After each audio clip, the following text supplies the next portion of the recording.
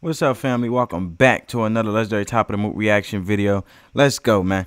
You guys absolutely love the Larry Bird trash talk stories, and this one is one of the greatest and funniest trash talking moments of all time.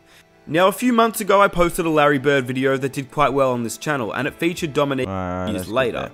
The whole Atlanta Hawks team, and it is hilarious. Larry Bird is one of the greatest players of all time, but he's arguably the greatest trash talker of all time as well, and this video proves that. So if you do enjoy videos just like this one, I'd really appreciate if you guys could hit that like button if you do enjoy it by the end of the video. Subscribe if you are new for videos just like this one. I also want to give full credit to all the podcast priorities I don't enjoy. Larry Bird's trash talk strikes again. You guys played the Celtics, Big Three, in the playoffs, 88. What were those matchups like? They're brutal. we were trying to go at each other's throat. It was hmm. unbelievable. I mean, a game set. Trying to go at each other's throat. Let's see how that turned out. Game 7 of the 1988 Eastern Conference semifinals. For Dominique Wilkins and the Hawks. And Larry Bird and the Celtics. It was a time to test their championship resolve. For three quarters, the teams fought to a standstill. But it was only a prelude to what was to come. As the final quarter began, a grueling personal contest of can you top this was about to begin. Mmm, can you top this? Let's see who's gonna be on the top of their game in this legendary game right here.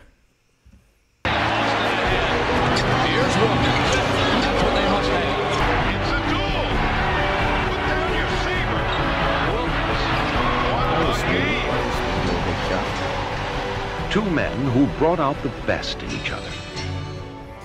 The bird can fly higher than any hawk. I like the trash talk, man. I'm loving the spirit. Um, two individuals, as he said, is basically pushing each other to the highest, to their fullest potential and fullest extent, to then show all their capabilities and showcase it. Also to the amazing fans and supporters, along with this competitive game right here, um, important game, I should say as well. Wow, this is the full story. Excuse the ad, family. Um, let this joint go by real quick, and then we're gonna get into the video. You know what I'm saying? On the day Larry Bird came up to us, Larry Bird talked back in 1988. Told by NBA players and legends. Let's get it, man.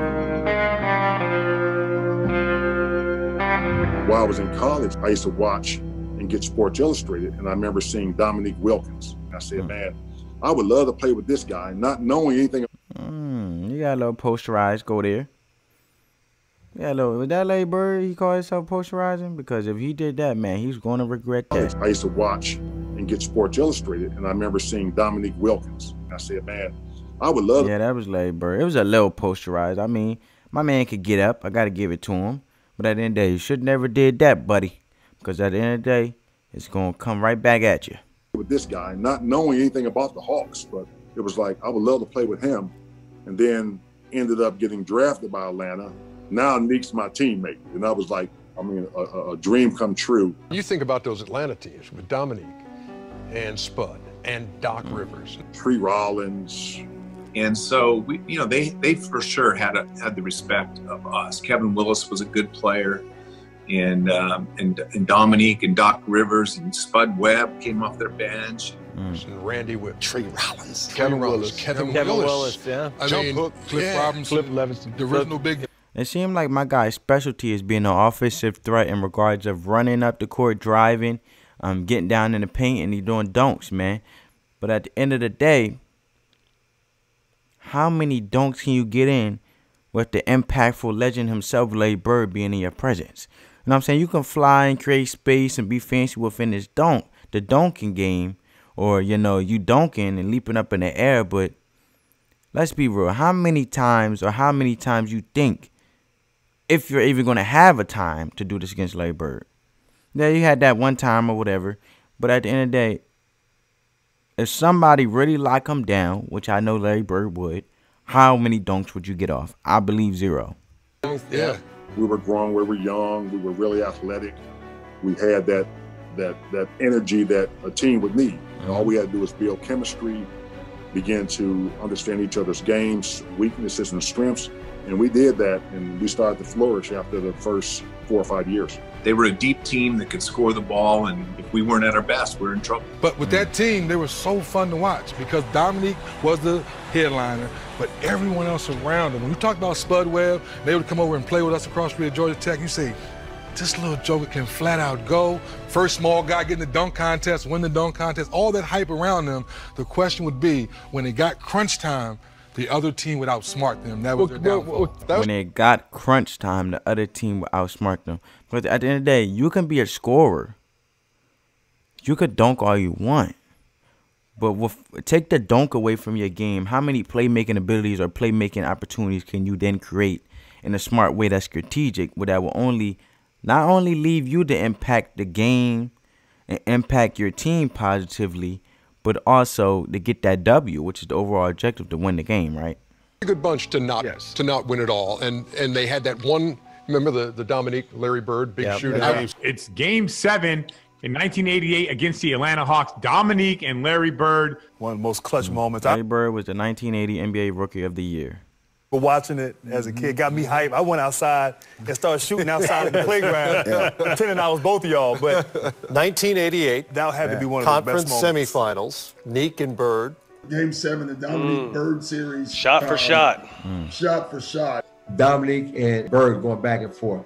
You know, we we we should have eliminated eliminated them in six. You should have eliminated them in six. So if you know you should eliminate them in six, then why you didn't do it? Let's see why he didn't do it. Because we all probably know why just by just having the word Larry Bird, I mean the name Larry Bird being in this game. You got stopped, but let's go. The whole series was crazy. Uh, game one and two, the Celtics won by like a combined 80 points. Like they blew us out. as the Hawks found themselves down to the final gasp. But back home in the Omni, they were flying high. The offensive spark plug, little Spud Webb, found a way to slither through the Celtic defense, putting together a career-best playoff performance and igniting the Hawks to a much-needed victory. I remember coming back from game three to Atlanta, and the big article uh, in Atlanta uh, Journal was put a fork in them, we're done. You know, and then we win game three and then win game four, go into Boston uh, and win game five. And that was a great game. I thought, I think we took control. Okay, you won game five. And nine times out of ten, they probably got all hyped because they won game five and think they could take the whole series. And that most likely ended up didn't happen because they already said they should eliminate them game six. This is me going on based on what they said beforehand, before they said they had it, before Doc Rivers said they had a good run in game five. So let's get it. Atlanta Hawks just will not surrender to the favored Boston Celtics. It's kind of a clash of two worlds. In Bird, you've got somebody who's already an icon. He's already been uh, sanctified as a Boston Saint. And Dominique represents a different kind of basketball. We had them, Matt, the one time we were up 3 2. We won game five uh, in Boston. We was not supposed to win that game, you know, the critics say. So we knew going to game six, I said, man, we could we could advance and we can beat these guys. The frenetic Hawks, led by the Freakazoid, had old school Boston by the throat. Up three games to two in the best of seven series. All Atlanta has to do is go down to Atlanta and close the series out. And then the last play in game six, um, Uh, basically, I blew it. Let's see. was, you know, Dominique and I were the two guys that score. And at the end of the game, we drew up a play. Uh, I called a timeout because they knew what we were running. Uh, we called another one. It turned into a broken play. I Look how smart. That's where it goes to them outsmarting the Hawks. And Larry Bird and the Celtics outsmarting. Anytime your team, anytime your opponent can know your play, and then they leave you confused and broken, where you basically scrambling to then create some type of play, make an opportunity. Uh, that's some top level stuff right there, man. But let's see what happens. On the ball to Cliff Levingston, and he was supposed to dribble handoff to either me or Dominique. DJ read it, uh, and he top-sided me. Uh, Cliff looked at Dominique, and then Cliff went on his own. I went to basket left hand uh, running hook. I was mad. Cliff's right-handed. He shot a left-handed hook shot. Cliff said, "I want to shine. Y'all got too much of the shine. I know you, Doc. You and Doc. Sorry, Phil. I know you and Doc Rivers want to score, but guess what, buddies? Not this time. I'ma handle it, and I'ma try to come up with a clutch making shot, with a clutch play and a clutch shot to make the playmaking opportunity um, of a lifetime, which went wrong. Levingston, no. Boston You know, Play sold was the supposed game, to come bro. to me, and I'm like, "What? do you don't break the play, bro." and so we end up losing that game. And after the game, And I remember this old lady at the airport. I mean, and I'm not exaggerating. She may have been 80. Um, you know, had her little purse, and she walks up to me. Hey, Rivers, you thought you wasn't coming back, did you? I, I, I will never forget that. I wish I knew who that lady was. uh, Barrett made a prediction. He said, "Atlanta blew their opportunity. I'm guaranteeing a win in Boston." Well, they had their chance. You know, they had a big chance uh, to beat us. I think now that we're going to come out and, and play like we did tonight, but we're going to be at home. Ain't nothing like having that good old home game energy. Feeding off the energy of the fans that keep you going, that keep you pushing. Mm, they done sold it. The Hawks done sold it. And y'all done woke up the dragon. Um, our shots are going to be dropping a little bit better, and we're going to be running a little bit faster. So I'd say Sunday's going to be a big win for the Celtics. And we had to look at that, right? I guarantee a win. Atlanta blew their opportunity. And I'm like, hey, I don't know what Bird talking about. I, we have a great opportunity. We going in there. We going to kick their butt. We coming to win. It- it- I don't care what he said. We get to Boston, and we walk out of the locker room, and I stop. I said, we to win this bleep bleep game. I said, if you ain't ready to fight, you ain't ready to go to war. If you guys ain't ready to fight, you ain't ready to go to war, don't even come out in the court. Don't come out. Don't come on the court, man. Y'all ain't ready for what's gonna come. Y'all ain't ready for the competition. Don't don't even worry. Don't even worry about it. Just save yourself. Save yourself while you can now. Catch a break. Go home. Whoever guarding me tonight gonna have a long night. Unfortunately, Bird was saying the same thing in the other locker room, in the other locker room to, to his teammates. So it, it um it set up for one of the greatest shootouts ever in the, in the seventh game. And I remember Larry Bird, he uh he passed by a locker room. He like, there's nobody in here can guard me. but he was just playing though. Yeah, yeah, because he was friends. Not only did he know before the game, he let everybody know, including his own team. Remember before this big game against Dominique that Larry was out shooting, and I was out shooting early at one end of the court. Larry was down at the other end, and I noticed that Larry was down there like shooting left-handed jump hooks from like 12, 15 feet. Now he made left-handed shots, but I saw him shooting right-handed jump hooks from 12 or 15 feet. And I went down there and go like, "What are you doing?" He goes, "My Achilles tendons are killing me. My step back isn't. It won't work tonight. I need." See, he know he he knew himself. He knew his abilities. He know how to revamp his gameplay in regards to whatever circumstance. This is what I mean with Larry Bird is a legend. Not only was he he had the skills, he had the will, but he had the, the IQ of a legend to the point where my man said, "Okay, I can outsmart these individuals along with reading the court, reading their plays, you know, reading what they're gonna go about, how they gonna go about things in regards to who they top key players, and also having to look at myself and analyze myself and my capabilities based on where I'm standing at in my current circumstantial situation in regards to my health, taking everything into consideration in regards, okay, how can I be most impactful to myself um, playing the game to then create some type of effect for us to have the overall objective to win the game, but also be impactful along with my teammates, so we can then overcome this and, and advance and win this series. So I gotta change up and ship shape some things based on my Achilles and my tendons and so forth. So I gotta change my game a little bit. That'll be a better impact. That'd be a better impact for me to still be effective and um come through and you know and do what I need to do, let alone alongside my teammates, man. That man, listen. jump hook. And he made something in that game. I mean, it's just unbelievable. That just tells you his confidence and tells Yeah. you what, what kind of a player he was. Just to have a game plan of what shots he was going to make that night. So it, it, um, it set up for one of the greatest shootouts ever in the, in the seventh game. Despite Bird's brash words, the Hawks seemed unintimidated. And it would quickly become apparent that if Larry was to make good on his prediction, he would have to contend with a high-flying Dominique Wilkins, who would simply play the game of his life. May 22, 1988. And my birthday, May 18. And I wasn't born till 99. The tip goes to Boston. We came into game seven with the right mindset, believing that we would have a chance to win game seven. You know, it was one of those Sundays in the Boston Garden, uh, hot, uh, you know, uh, crowd crazy. Uh, they expected they were going to win. Uh, I don't think they expected to have a, a tussle like they had in that game. Game 7 would go down as one of the greatest games in NBA history. Dominique was an unstoppable player. No guy could guard him in the league man for man. You could see his competitiveness. You could see his determination in that game seven. There was only one player on the floor who could match his will. Of course, man. That's Larry Legend Bird, man. That's Larry Birdie in the building, bro. But at the end of the day, I feel like Larry had rented real estate or a permanent residence in the head.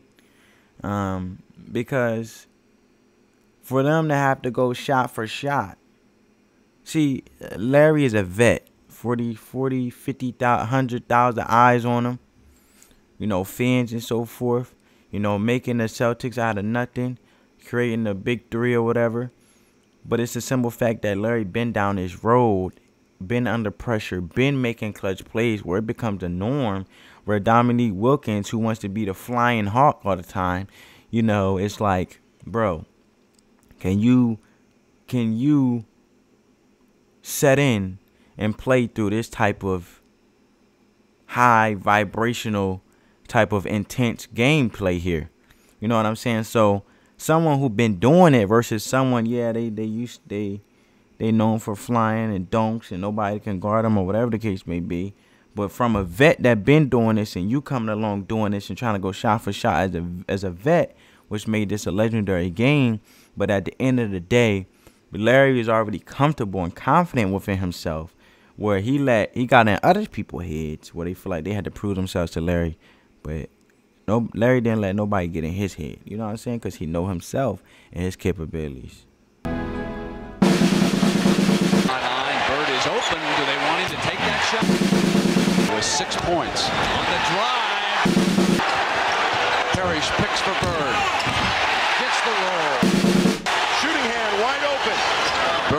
Very difficult angle gets it to fall. And I remember he only had 12 points going in the fourth quarter.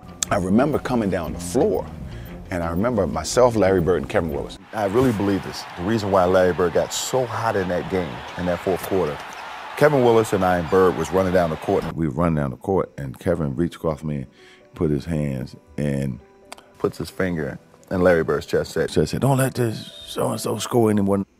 Kevin Willis then added fuel to the fire. Kevin Willis came over and said, "Neek, don't let him score tonight." And Bird standing around next to him. I'm looking at Kevin. Uh, what you doing? What are you doing? You know, his Bird's eyes got like this big. You don't want to awaken a sleeping giant. He got 12 points. All right, don't don't wake him up. Are you crazy? Leave him sleep. Let him stay asleep. yes. What you doing? Woke him up. You don't wake up a sleeping giant. Sleeping His eyes got that big. You know, it's like his eyes got this big.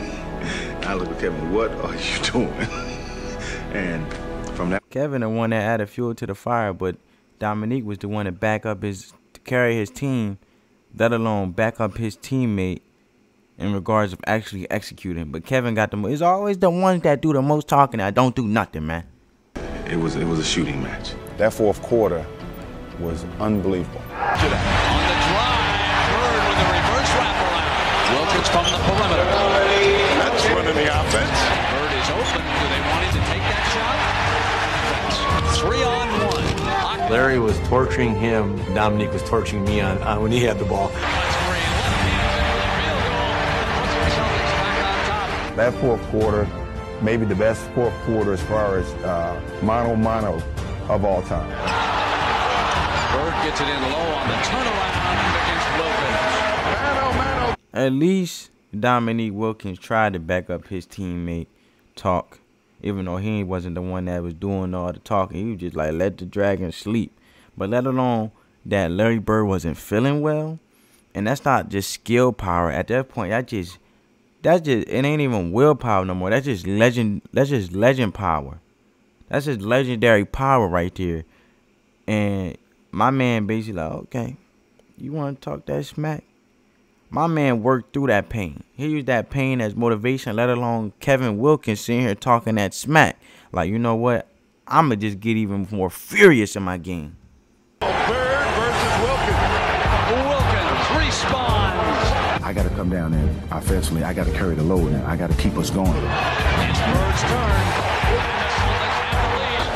I remember sitting down before the fourth quarter, and I'm watching the game. And I remember they took me out for a blow, and Kevin and uh, Cliff Levingston came in the game, and he got hot. And I remember Coach said, "All right, Nick, go in there and slow him down." I said, "Slow him down." He hot now. He forget that. That's the only thing I can do is try to match him bucket for bucket. That's what turned out one of the greatest fourth quarters ever. So we're playing, it, the ball goes up. You know how you, you, you, you clear space, you get that rebound every day. You're not even worried about it because I push it and I, I go up to get it. And all of a sudden, man, there's just a force all over my shoulder. he grabs it, he dunks it. You know those short shorts? They were right here. I tell you right now, I, I mean, he threw that thing down and I was like, oh my, and Larry has the classic line. Larry goes, shoot, I better, better box that guy out, huh, Kev? I said, yeah, I suggest. Yeah, you better box that guy out. But I love it how it's just two legendary individuals pushing each other to be at the top of their game, being on their P's and Q's, and you better not let up. I suggest you put a body on him. That was one of the craziest things ever. I'd never seen a guy that high in my life. Oh, he just threw God. it down. Short shorts right here, huh, kid? Right here, baby. That was not. I still have nightmares about that, Smitty. Obviously. You had 47 in that game. Larry Bird had 34, but 20 of those. In that quarter, but like I said, I think he ended up with 34 for the game. And duel continues. I don't think it was the, uh, uh, so much edge they had. I just thought it was a player that they had, and that was Larry Bird. Just like it was a player that, that y'all had, which was you, Dominique Wilkins. You know, I feel. who basically put the team on his shoulders in that fourth quarter. Yeah. Just like you had to put your team on your shoulders, but Larry been doing this. You know what I'm saying? I'm not saying Dominique haven't been doing this, but at the end of the day, he's a vet doing this, man. The Celtics are ahead of the Atlanta Hawks. 84-82. Will return to the Garden. And make it easier for him to bring the ball up. Bird now cuts free. The defense. Tied at 88. You gotta love how Larry Bird follows through with his shot, man. Did that left hook and he was just ready in case it didn't go in. With Bird pulling up. Putting Boston ahead. Bird attempting to break free. Stays with it and Not with the tripping forward trick shot, man. the continuation for Larry Bird. We're up by seven. Dominique hits a three. Lead to Bird off the fake. Improves his position. Wilkins ties it for Atlanta. You know, Dominique was pretty much the whole game. Larry, uh, the fourth quarter, uh, kind of then, uh, uh, you know, carried their team. That's what made him so great. Bird cuts free. Left hands it the field goal. This is a type of game who's going to blink first. Wilkins responds. Wilkins got a high shot, bro. He he, he paused like he just like midair just he do the little little sizzly wormy snaky type move and then he like released the ball. Between the two. Bird got fast club.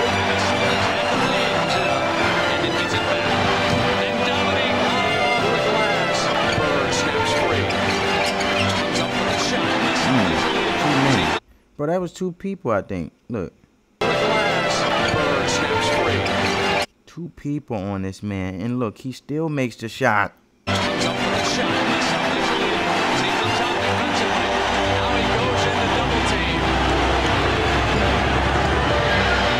out.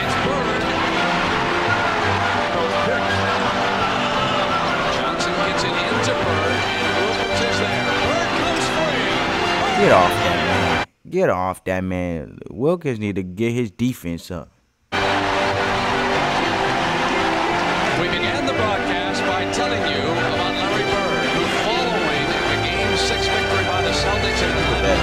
And let him make the read because if they come double, he's going to make the right play.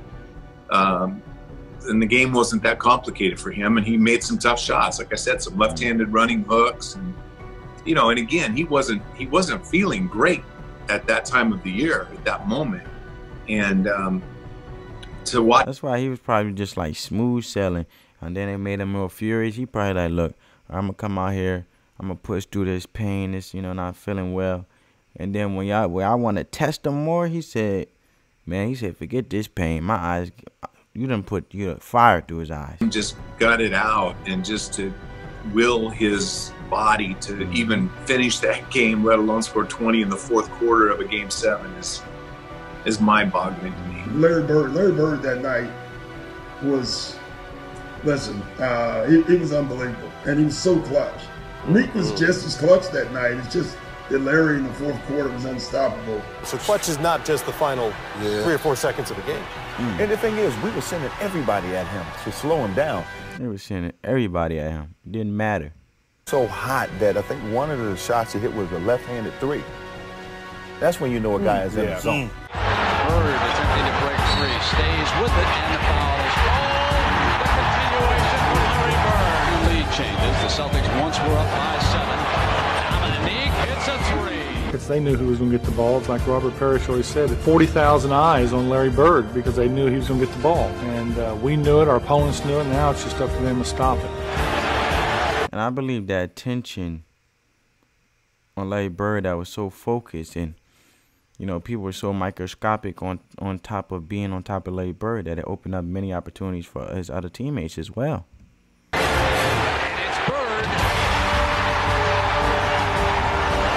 Boston Celtics will win this series. Man, he was doing a little bit of everything. I don't know really what he was doing in that fourth quarter, but the stuff that he was doing, it was unbelievable, man. I mean, he was throwing left-hand shots, running hooks.